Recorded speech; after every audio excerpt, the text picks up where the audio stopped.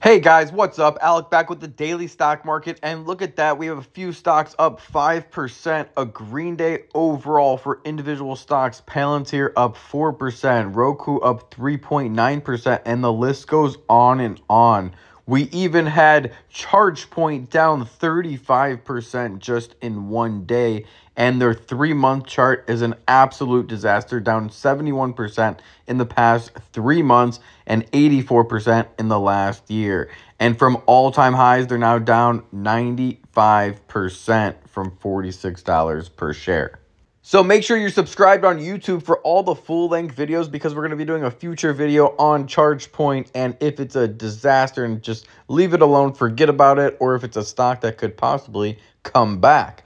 But in this video, what we're going to be talking about is earnings week because although it is short, it is still exciting. Remember, this is a short week due to Thursday because Thanksgiving is on Thursday and the stock market is closed on Thursday. Keep in mind, this could be a green week because the stock market tends to rise before the holidays. And also keep in mind, we have early dismissal on Friday with the stock market closing early due to Black Friday. But this week is still exciting nonetheless because we have the golden child, the golden stock of 2023 reporting earnings. And that, my friends, is NVIDIA, ticker symbol NVDA, reporting Tuesday after the close alongside HP. And that's really it. We also have like Jack in the Box and Nordstrom and Autodesk, but they're not as heavy hitters as nearly as heavy hitters as something like NVIDIA or even HP, but Nvidia is still on another level. Now let's go backwards from Tuesday before the open. We have Kohl's reporting, Best Buy, Lowe's, Baidu, Dick's, Sporting Good, and Burlington all reporting just before the open on Tuesday. So, needless to say, Tuesday is going to be a very exciting and eventful earnings day to be tracking and to keep your eye on. Uh, Home Depot already reported, so we can get some insights off Lowe's. With Kohl's, we already had Macy's and J.C. Penney reporting. And then with Baidu, we did have Alibaba reporting. Now, they are a different company entirely, but they're still a Chinese based stock, so it could give you a slight insight on uh, Baidu earnings. When we wake up Monday morning, right when the stock market opens, not much is going to be going on, but stick around because after the close on Monday, we have Zoom, which is going to be moving huge amounts. So here we have an interesting analyst article as Thanksgiving draws near. It's my customary practice to pause and reflect on all aspects of life deserving of gratitude, which is a great way to start the article and a great way to start your week as well. So the first stock that we're going to be talking about is Baidu, the Chinese-based company, ticker symbol BIDU. What to watch? Navigating through the rough waters of Chinese tech market hasn't been a stroll in the park in 2023 at all. Post-global pandemic repercussions have left even the seemingly undervalued stocks of the Chinese internet companies in the doldrums. But the attractiveness of Baidu, which is looking grossly undervalued, is hard to ignore. The stock has fallen 20% over the last six months, including a 13% decline in the past 30 days. The shares are down 5.5% year to date compared to 17% in the S&P 500. China's regulatory crackdown on tech companies has been one of the main reasons for Baidu's struggles. China's SAMR has demanded better corporate governance, anti competitive practices, and improved political posture, all of which sparked fear amongst US investors that Baidu's core marketing business won't grow as expected. Remember, they're like the Google of China. And with these crackdowns, that's what's really pushing US investors away because the marketing business is the biggest sector of Baidu. Okay, nor will it be able to accelerate its uh, growth in the cloud sector, which the US based companies like Amazon and Microsoft and Google are doing really well right now. And that's where they're seeing their biggest growths is in the cloud sector as of right now. But now could be a good time to bet on a recovery. The company's Q3 revenue is expected to rise on a year over year basis, which will mark the third consecutive quarter of revenue growth. Revenue surged 15% in the second quarter, Baidu's AI investments and its efforts to establish leadership in the China's AI sector is another reason for the optimism going into the earnings report. The company has also shown a committed a commitment to return on capital to shareholders via buybacks. Baidu's board of directors earlier this year approved a $5 billion buyback uh, program effective all the way through 2025. So that's implying that Baidu could be a steal and be, you know, good thing to dollar cost average into over the next two to three years. This is certain to reward long term investors. For any of this perceived value to matter, on Tuesday, the company must speak positively about the growth potential for the next year and beyond.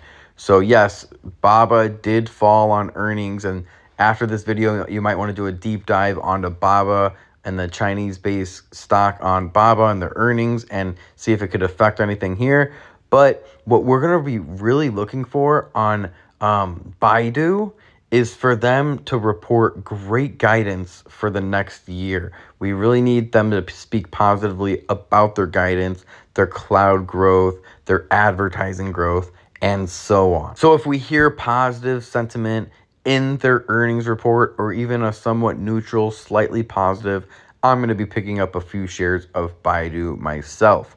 Now, after we have NVIDIA, Wall Street expects NVIDIA to earn around $3.10 per share with revenue 14.89 billion. This compares to a year ago quarter when earnings came out 58 cents per share on revenues of 5.93 billion.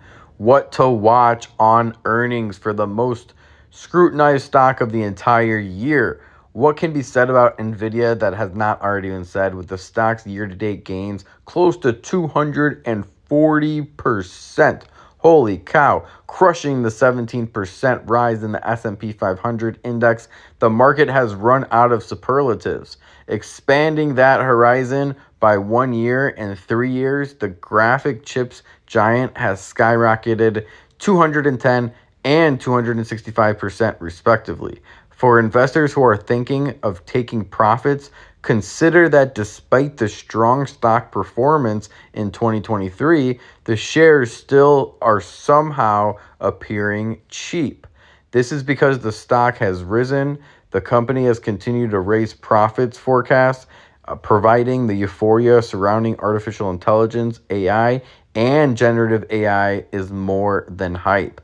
Okay, remember, the profits the let's go back to that line where it said the the company has continued to raise its profits forecast. So they think they're going to be making billions of dollars and then they they're telling everyone yeah we're going to make x amount of billions of dollars and then they come back and say oh actually just kidding we're going to be making twice that much that we thought we were going to be making. Obviously that's going to be raising the price like crazy and it could um, be an undervalued stock if they continue to do that and blow away analyst expectations. Okay, that's how the stock market works. Nvidia's second quarter numbers and Q3 guidance suggest there is some sort of relentless demand for AI. And the question is will it die down, this AI hype, in 2024, or will it strengthen and be stronger than ever and see new developments in AI in 2024? And majority of investors and bulls are going to say the latter is true, especially in the data center where companies' revenues surged threefold on a year over year basis. As a result, analysts are projecting Nvidia stock to go even higher. The stock has a consensus price target of $580 per share for analysts on average, and that's um, up obviously from current levels of $493 per share. That assumes an additional premium of close to 20% rise that could happen in the next 12 months still. In the second quarter, Nvidia reported adjusted EPS of $2.70, which breezed past analyst expectations by a whopping 30%. For some context, Nvidia not only blew away its own guidance of $2.07, the consensus estimate for the quarter a year ago was only a modest $1.07 per share, which they more than doubled, ended up doubling that number. Q2 revenue also crushed Wall Street's estimates by a staggering 22%, coming in at 13.5 billion, while Wall Street was looking for around 11.1 billion.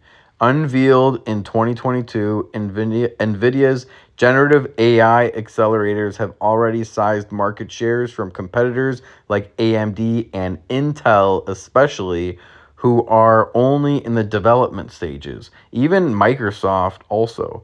But to continue with the stock's upward trend, the company on Wednesday must continue to tout its growth prospects for the next quarter and beyond. So, this earnings quarter is not only significant for Baidu, uh, but it's super, super significant for NVIDIA. And there's a good chance they are going to beat earnings and they are going to blow away analysts once again. And if that happens, then the share price is just going to continue to rise. Okay. And there's no ceiling. But also the reverse is, is true.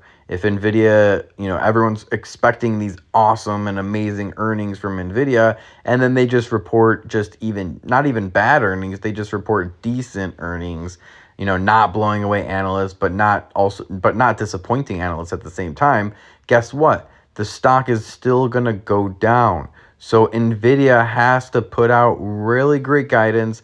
They have to beat their numbers by a large amount and that's the way we're going to see Nvidia stock rise in my opinion. And there's a good chance we do see it rise in my opinion also on earnings. So if you guys want to see exactly what stocks I'm buying before and after earnings, what option trades I'm doing, what strike prices, expiration dates, and everything in between, message me here, the Daily Stock Market on Instagram. Now over 218,000 followers, 853 posts. We've been doing this for years and years and years and have thousands of positive testimonials. Click on success number nine in the highlight section of my Instagram and read through some of these positive testimonials yourself. Thanks a lot, Alec. Since joining your close friends list in Discord, great trading month, over 96% gains. And the list goes on and on. If you have five, ten minutes, read through all the positive testimonials in Success 9. And if you get bored or want to continue to read, go to Success number 8, Success number 7, Success number 6, and you can read every single positive testimonial that's been happening for the last couple months, weeks, and even years also. Thank you guys for all the love and continued support, not only on YouTube, but also on Instagram. If you made it this far in the video, make sure you're subscribed, double check to, and if you're not subscribed, hit subscribe, like this video, share this with a stock market investor friend that loves NVIDIA or you just want to pr help prepare for the trading week ahead. I'll see you guys in the next video. Remember, don't time the market, buy the market. Peace.